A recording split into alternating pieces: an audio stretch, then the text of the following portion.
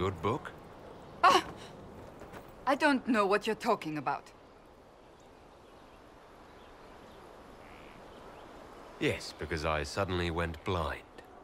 Oh, that. Just reports from Commander Cullen. You're an excellent liar.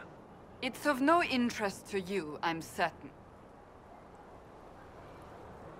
It's a book. I can see that. It's one of Varric's tales.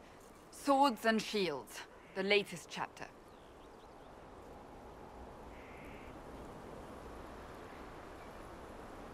The latest chapter? Meaning you've read them all? Not since this all began. We've been busy. She's read this one three times. You! I told you to stop spying! You read it out loud to me. I don't like the captain either. I never did that. It's literature. Smutty literature. Whatever you do, don't tell Varric.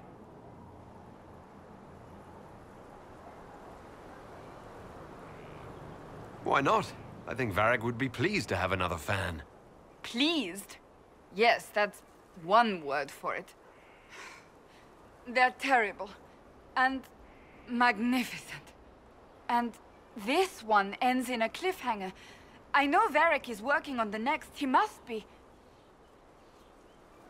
Pretend you don't know this about me.